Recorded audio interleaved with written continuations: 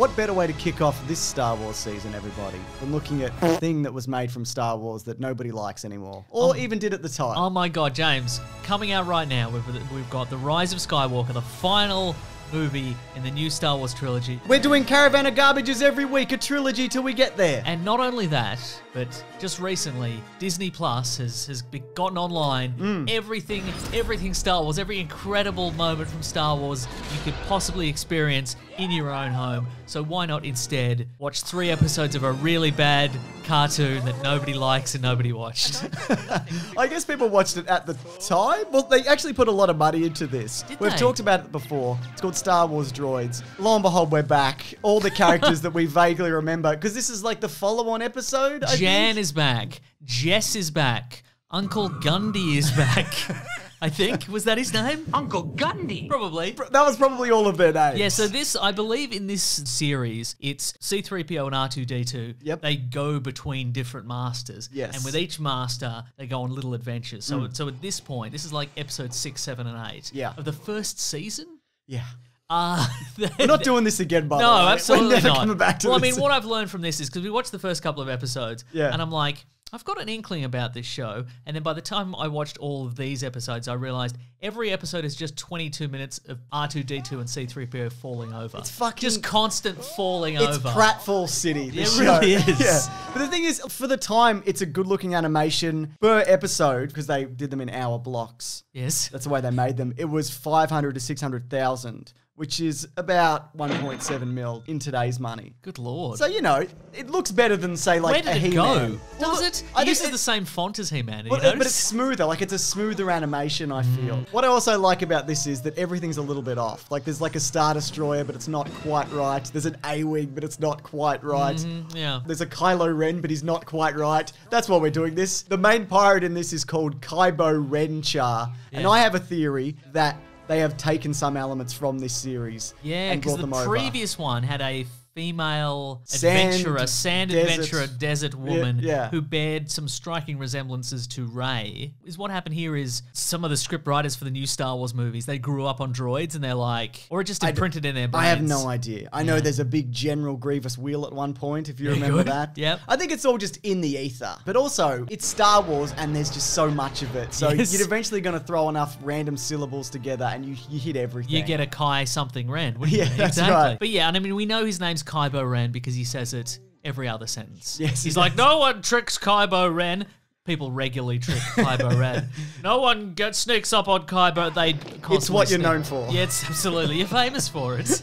So yeah, we could mostly skip the first episode because it mostly ties into the last one. It's about a prince getting back his homeworld or whatever. He needs Yeah, the scepter some- and he gets it. No, no, he doesn't just get it. He gets the scepter back through a series of pratfalls for 22 minutes. That's it's right. just people going, oh, now I've got the scepter. Oh, I've dropped the scepter. Now I've got, I've dropped it. But yeah, that was the previous Yeah. episode. So it's taken like four episodes to get to that point. But I perked up a couple of times. For- For one, Kybo Ren makes an appearance briefly, but Hmm. then he's thwarted by IG-88, and I'm like, oh my goodness! Yep. Finally, we've got to like a bounty hunter I recognize, Yeah. and want to see. Spoiler alert: he fucks off. We don't see him again. He's not in these following episodes at all. So in the second episode, which is called "The Pirates of Tarnoonga," Yes. which is Kylo Ren's Kylo Ren's force. Do you mean Kybo Ren?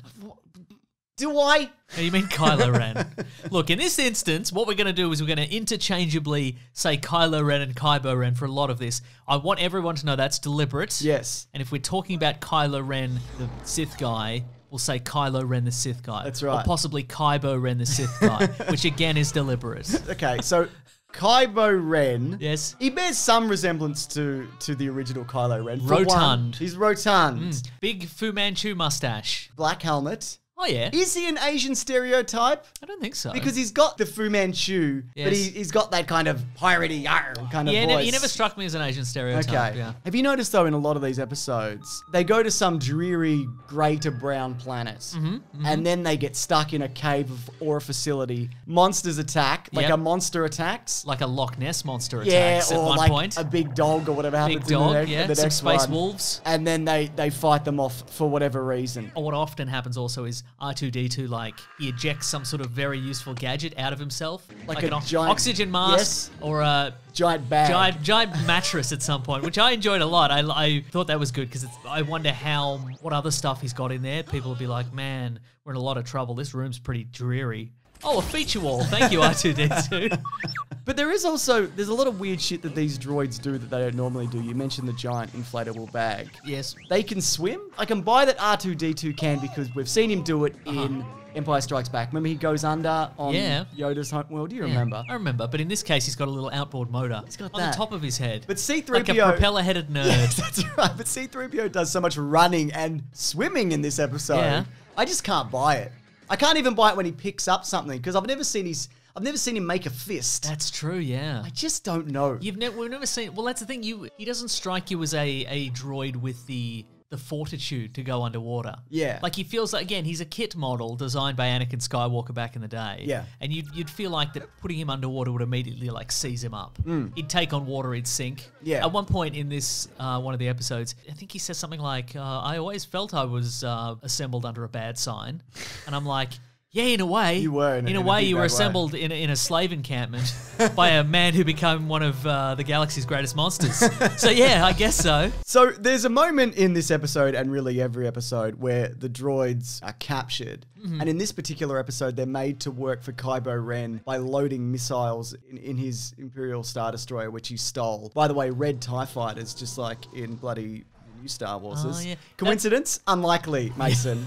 They've borrowed that. Well, that's what that's an element I did like of this that he he's acquired a bunch of junk stuff. Yeah. So some of his crew fly little Tie fighters with Yeah. his face on the side. Love it. I love it so much. Yeah. Yeah. So they get R2D2 for some reason and him to, to load these weapons. And of course, R2D2 puts them in backwards. like, you wouldn't leave these guys alone, No, would you? they're dangerous to you and themselves. But mm-hmm. I will say this. also, he's a little murderer. It- He's, a- it's- he's a massive It's murderer. sabotage. You It's sabotage he the situation. And I guess like every one of these episodes, it seems them being captured, it's it's a decoy, much like Luke's decoy in the Last Jedi. It all it all ties together. You think he's really there, but he's Yeah. a hologram boy, isn't he? It's a decoy, yeah. That's Uh-huh. right. Look, I don't remember much else from this episode other than they defeat Kylo Kybo Ren, whatever his name is. Shouldn't have paused. Shouldn't have hesitated. I shouldn't have. Go with whatever. And then he gets captured, and then at the end they have a, they have a little bath together. They have a little Oh, oil bath, right. Yeah. which is something from Star Wars canon and legends. It would seem these the aren't droids canon. have a little oil bath. Yeah, it happens in A New Hope. C3PO is like raised out of one. He's like, I love oil baths, man. They're my fave. So the follow up episode and the final episode is called The Revenge of Kybo Ren. Sounds very familiar to the action that's going to be taken in bloody The Last Skywalker. Oh, I right? absolutely. Can you believe all these tie ins? It cannot be a coincidence, Mason. Absolutely not a coincidence. Personally, if I was going to do some revenge, mm. I'd wait a bit, I reckon. How many? If I was episodes? Kylo Ren or possibly Kylo Ren, I'd wait more than one episode, is how long I'd wait. So he's also he's not happy though that he's been made a fool of, like Kylo Ren in the Last Jedi. If you it all recall, all ties together, It doesn't all it? All ties together. Yeah. So he's rescued by uh, by one of his comrade boys, isn't he? Mm-hmm. He comes in and he's like, "I'm with you, Kybo Ren." One of the Knights of Kybo Ren. That's right. I know this is something you appreciate though. Are you going to talk about how the episodes ended? We're not quite there yet, Ah. unfortunately. They've got a he's got a stun disc on his hand. oh, yeah, stuns are good. You, you love the return of the stun. I love the return of the stun. It's so very rarely used. oft used. It's a kill universe. It's a universe for, the kill setting is very much favoured in the Star Wars universe. I mean, when you look at the Mandalorian, he's disintegrating blokes left and right, isn't he? That's right. He's- he doesn't give a shit. This one though, it's a it seems like some kind of off-brand version. Oh, First of all, because it's palm held. Oh, and yeah. it shoots like a purple laser from memory. It's like that thing you're talking about with the staff, where it just goes from person to person, and everyone's kind of stunning each other, just just kind of in, in a row, just kind of making it all happen. If the. Three Stooges existed in a, a long time ago in a galaxy far, far away, they would be passing a stun disc. I honestly can't remember whether they put him back in jail or they murder him or he just walks off screen. How does Kybo Ren end this series? Because he certainly doesn't come back. I looked into it. Do you remember? Let me think. I did watch it. I watched it literally before coming over here. So let me think. They're like, we tricked you, Kybo Ren. And he's like, oh, boo. I'll have my revenge again. He won't. I reckon they probably just chuck him in jail. Yeah. And then later R2D2 comes in and murders him. He uses that little buzz saw to cut his throat. yes. I appreciate While he that. sleeps. Yeah, well, he's only bad news, isn't he? Do you mean R2D2 or Kybo Ren? So this is a show that we're never going to visit again. And it's interesting. You say know- that. No. Wow. No. I think I made the promise a while back that we'll do like the trilogy of these episodes. And seeing as the Skywalker saga is wrapping up, Yep. cannot we too hmm. leave this series be? Let, us how about this? When they bring the Skywalker saga back in a new trilogy of Yeah. films in a few hmm. decades or whenever, which they almost certainly will. Yeah. huh. Why am I saying this? We'll come back.